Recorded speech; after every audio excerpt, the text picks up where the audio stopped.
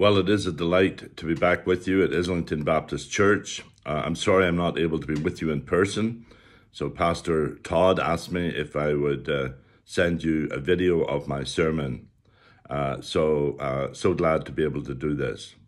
Let's bow in a word of prayer. Father, we just pray that as we uh, spend a few minutes this morning looking at the prayer of Jabez, that you would encourage our hearts. We know that different people are going through different challenges. And Lord, we just pray that your spirit would take and apply your word this morning uh, to whatever need is represented in this place. And we commit our time to you in Jesus' name. Well, let me read, first of all, a few verses from the prayer of Jabez, uh, found in uh, 1 Chronicles 4 9 and 10. It says, Jabez was more honorable than his brothers. His mother had named him Jabez, saying, I give birth to him in pain. And Jabez cried out to the God of Israel, Oh, that you would bless me and enlarge my territory. Let your hand be with me and keep me from harm, so that I will be free from pain. And God granted him his requests. Now, this prayer is found in a part of the Bible that few of us would go to have our daily devotions. You see, it's just one long list of names, descendants from Adam, right down to King David's tribe and clan. Now, at first glance, it seems that this could be interpreted as a self-centered, even a selfish prayer. Imagine you are at a prayer meeting at Islington Baptist, and an unknown guest joins the prayer circle and prays, O Lord, bless me. There's no word about his wife or his family or his children or his church or a lost world. It's just, Lord, bless me. Then the guest continues praying, Lord, extend my territory. You think to yourself, is this person only concerned about ex- expanding his own personal real estate? Or is he one of the lucky ones whose wealth portfolio has actually increased during COVID? Well, our guest continues praying, Lord, let your hand be on me. Now, you can almost be ready to interrupt this person praying to ask him, Hey, my friend, don't you know that there's a big suffering world outside of your self centered bubble? Finally, he prays, Lord, keep me from harm so that I won't experience pain. Well, by now, you've just about had it with this person, Jabez. Surely he must be a self centered egotist. Somehow he thinks he should have the privilege to escape pain while the rest of us suffer in the winter of COVID. Yes, at first glance, this could be interpreted as a prayer of a selfish man. But friends, before we judge Jabez too harshly, let us take a closer look at the text. Well, notice in verse 9, it says, Jabez was more honorable than all of his brothers. Now we know that God knows our heart. It would be surprising to call a selfish and self centered man by nature honorable. Now, you may know and also be surprised to hear in verse 10 at the end of this prayer, it says God granted him his request. Well, I don't think God is in the business of answering prayers of selfish people. Do you? Next slide, please. James 4, verse 3 says, When you asked, you do not receive, because you ask with wrong motives, that you may spend what you get on your own pleasures. So let's take a few minutes this morning to discern what God might say to you and to me from the prayer of Jabez. Before we look at the prayer, we need to consider his name. Imagine your mother giving you a name which means big pain. Next slide. That's exactly what Jabez means. In verse 9, it says, His mother named him Jabez, saying, I give birth to him in pain. You see, Jabez came into this world, I'm sure, causing pain. And I'm sure he experienced pain the rest of his life. Well, think of the kids that played with him. Seeing Jabez coming to play, perhaps he would tease him and say, Look, here comes that big pain, Jabez. Now, none of us like to be labeled, especially in negative ways. Sometimes we label people because of their place of birth. People like to make Newfie jokes about people from Newfoundland, or Paddy jokes about people like me from Ireland. Others make fun of people because of their ethnicity or because of their race. Sadly, we see so many families south of the border split and polarized because of the political party labels they support. Friends, it's so easy to demonize those who are different from us. But notice that Jabez rose above the pain and the name calling. It says Jabez was more honorable than all of his brothers. Friends, it's so important that we break the circle of name calling and stereotyping that we face in life. You know, growing up in Ireland, I dropped out of school at the age of 15. And one day I overheard one of my relatives saying, That Robert, he'll never amount to anything. Well, what a blow to the self esteem of a teenager to be labelled a loser. Yes, We've been through some tough years. For some, it has brought a lot of stress and pain. But, friends, there's a message and there's a hope and there's encouragement that God wants to give you and me this morning, I believe, through the prayer of Jabez.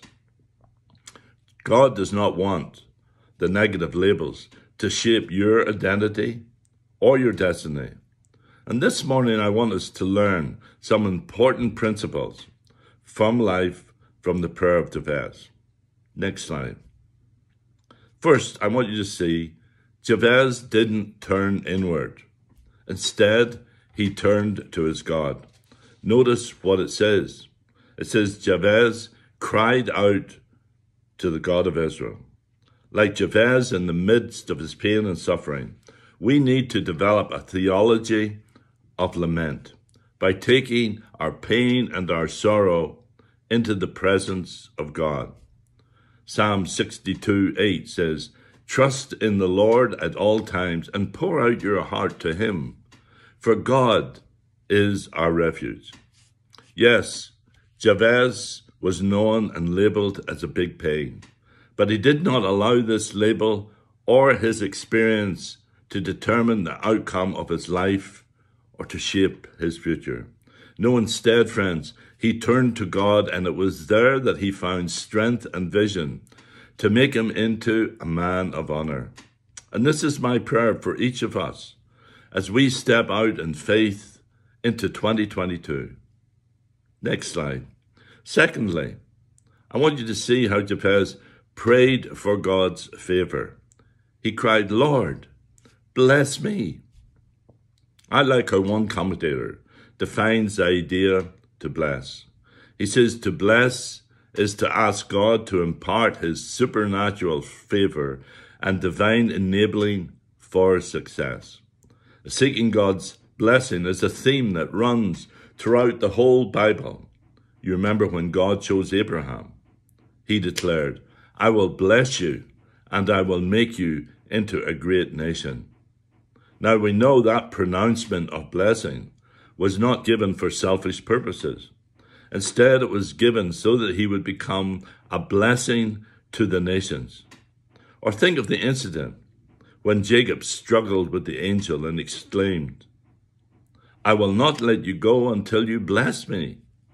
What was the outcome of that blessing? His name was changed from Jacob, meaning deceiver, to Israel, the father of a great nation, chosen by God. Or try to imagine Aaron, the high priest, standing at the door of the tabernacle, praying this prayer of blessing over Israel. Next slide. Saying, The Lord bless you and keep you, and the Lord make his face to shine upon you and be gracious to you. You see, the Lord had chosen Israel to be a lighthouse, allowing his light to shine outward upon the nations. But sadly, they explained the transparent windows with mirrors, so that God's light shone only upon themselves, instead of outward towards the nations. Friends, God's blessing, his favor, is to be shared with others. I heard the, recently the story of a farmer who discovered a new kind of farm corn seed. And when it planted it, his crops doubled at harvest time. And when the neighboring farmer saw his abundance harvest, he asked if he would share his newly discovered seed. The farmer stubbornly refused, as he did not want to share the blessing.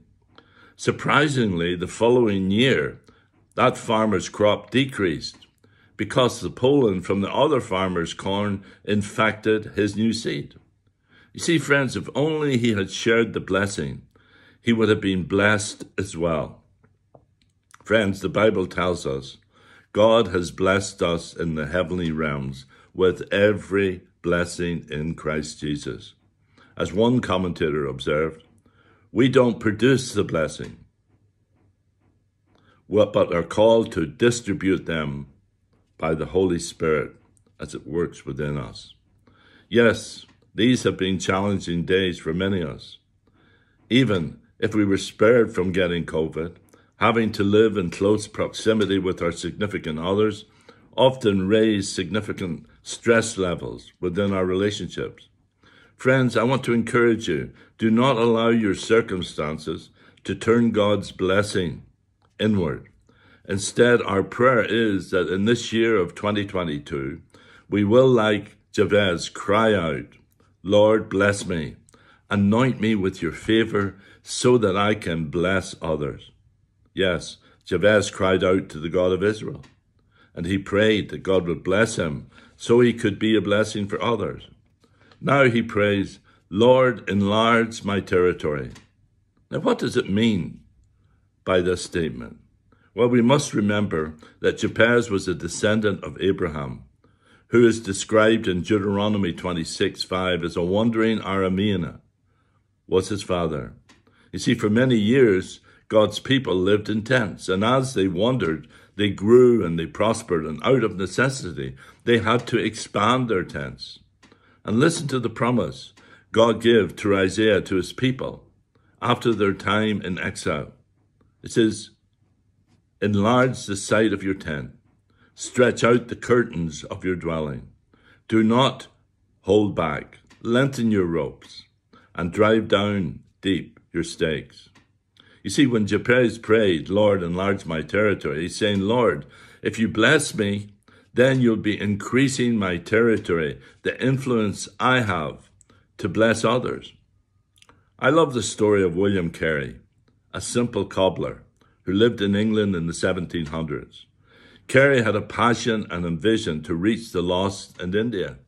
And when he shared that vision with a group of Baptist pastors, the response was shattering.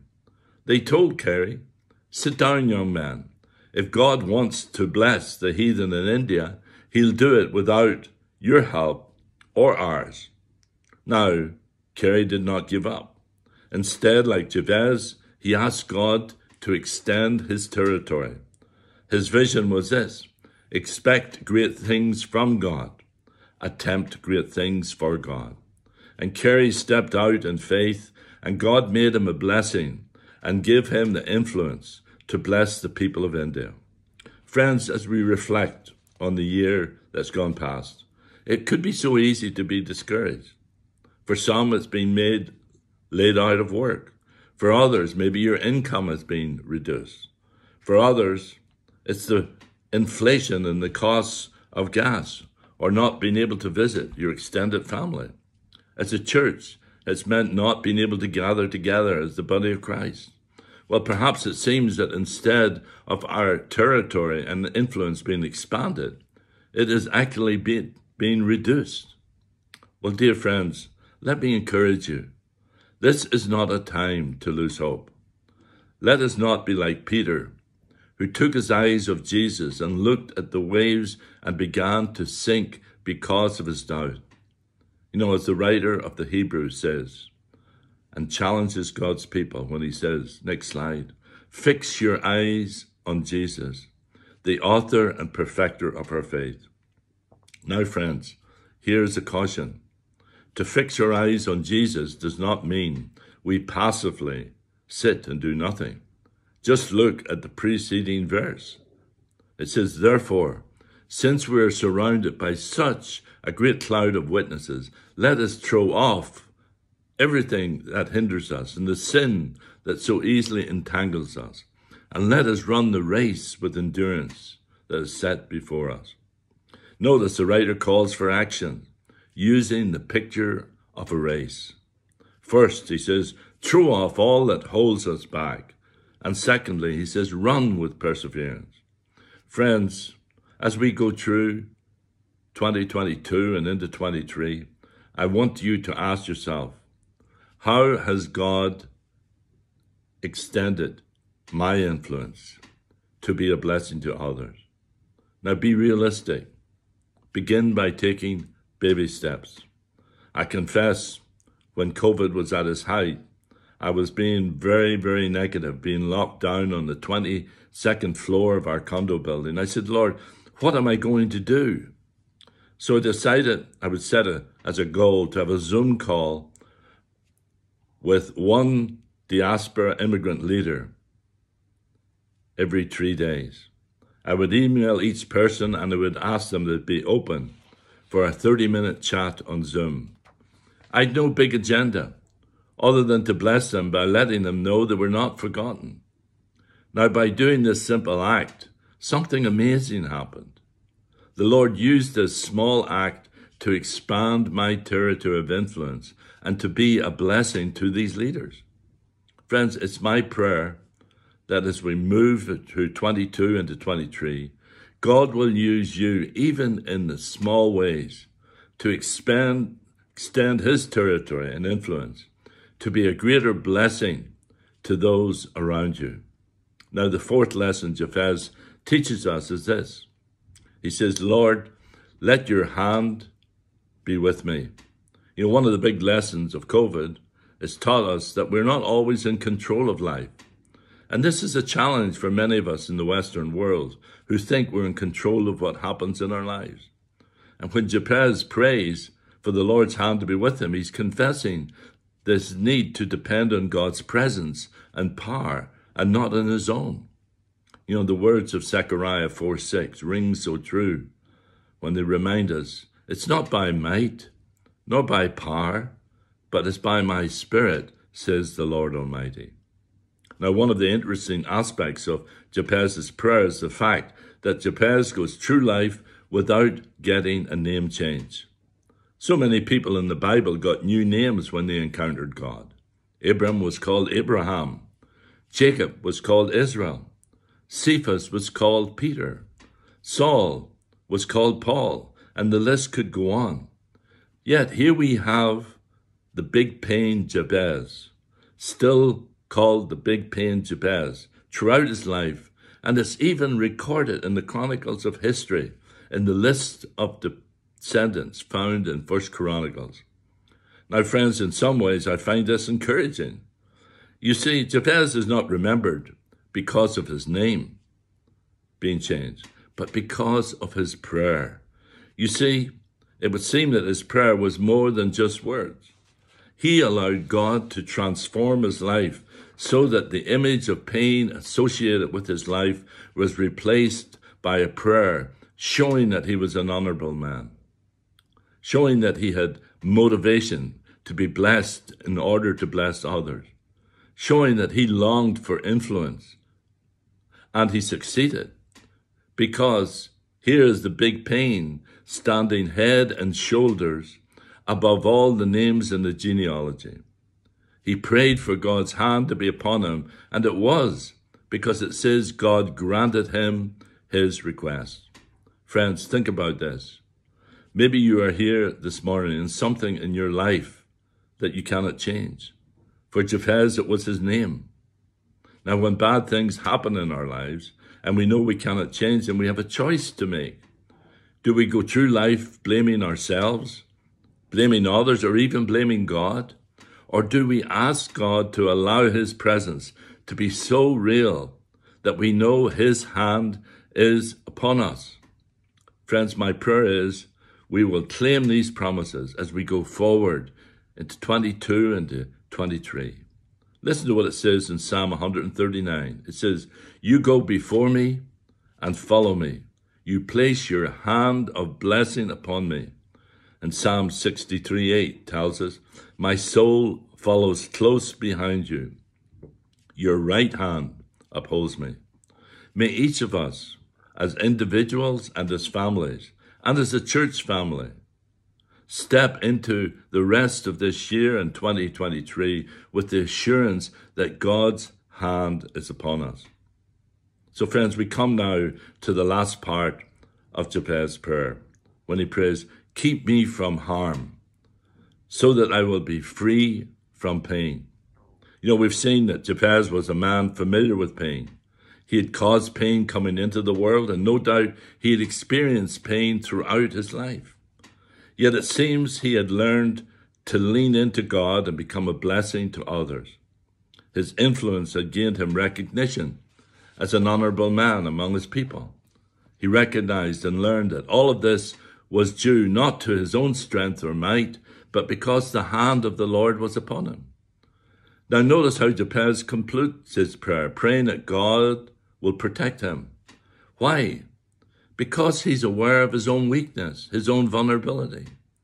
Now, I'm sure all of us want to avoid pain in our lives. However, we know that sometimes pain is unavoidable. To expect to live a pain free life would certainly be unrealistic. But, friends, pain comes in different forms, and sometimes it can be self inflicted. You see, in Canada, we have an opioid crisis. Some people begin taking fentanyl as a treatment for physical pain, and often it will lead to substance abuse and sometimes eventually death. This is what we call self inflicted pain, and many have suffered pain because of COVID. But many others are suffering a result of toxic relationships caused by social isolation or the inflation on the cost of living that we're experiencing. But self inflicted pain, friends, can also be a result of sin and ignoring the dangers of temptation. And I think this is what Jabez is alluding to. Next slide. In fact, one could translate Jabez's prayer as Lord, keep me from evil so that I will not be grieved. You see, in many ways, it reminds us of the Lord's Prayer. Lead us not into temptation, but deliver us from evil. This, friends, is a prayer of protection. But in order to be protected, we also pray for God's wisdom to know ourselves and to avoid those things that play into our weakness. I want to encourage us to pause and ask ourselves, what have I learned about myself this past year? Next slide. You see, when this, like the psalmist, we can pray, Search me, Lord, and know my heart.